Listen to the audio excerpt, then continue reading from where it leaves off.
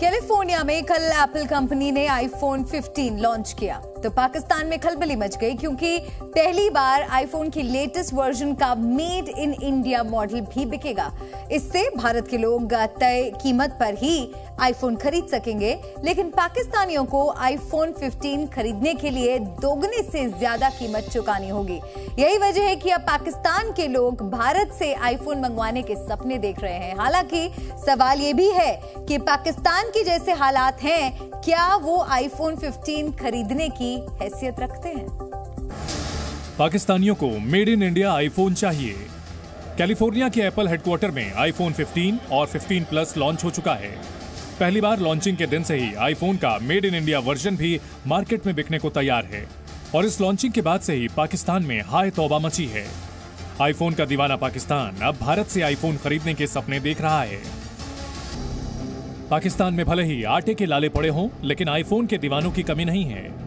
Apple iPhone 15 launch होने के पहले ही सैकड़ों की संख्या में लोगों ने ऑर्डर दे दिए हैं। लेकिन ज़्यादा ऑर्डर से खुश होने के बजाय वहाँ के मोबाइल विक्रेता परेशान हैं। भारत में मेड इन इंडिया आईफोन मिल रहा है। भारत में ही आईफोन मैन्युफैक्चर हो रहा है।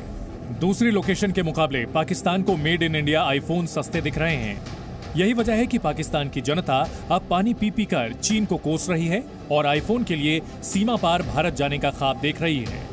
आईफोन 15 के लॉन्च होते ही पाकिस्तान में नई बहस छिड़ गई है।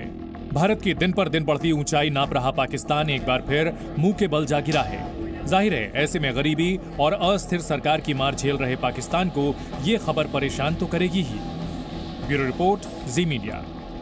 पाकिस्तान में आईफोन की दीवानगी ऐसे ही नहीं है। नए आईफोन में ऐसे बहुत फीचर्स हैं जिसकी वजह से पाकिस्तानी ललचा रहे हैं। आइए, आपको इन फीचर्स के बारे में बताते हैं। पहली बार चार्जिंग के लिए टाइप सी पोर्ट दिया गया है।